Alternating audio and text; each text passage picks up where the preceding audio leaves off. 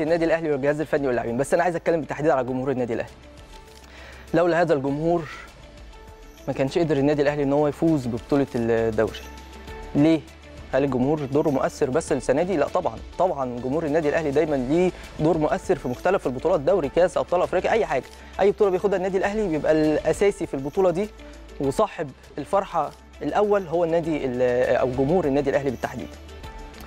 لكن المرة دي حصل حاجات كتير جدا على مدار الموسم وأي أهلاوي في الحقيقة بصراحة يعني هنتكلم بصراحة لازم يفتخر جدا جدا بهذا اللقب ويفتخر جدا جدا بانتمائه للنادي الأهلي.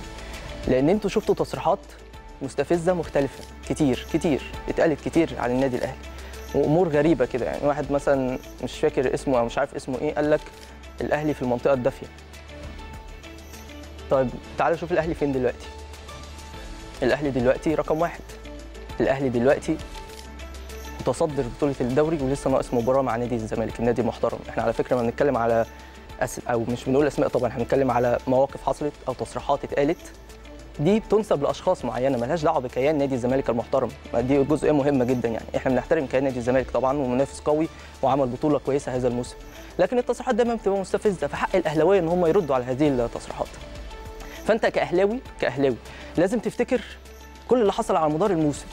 افتكره كويس قوي. سواء من أندية مختلفة تصريحات مختلفة كل كل هذه الأمور لازم تفتكرها. وتبص دلوقتي شوف فريقك جاب لك إيه وحقق لك بطولة ال- الدوري إزاي ومجهود وبتعب كبير جدا جدا على مدار الموسم.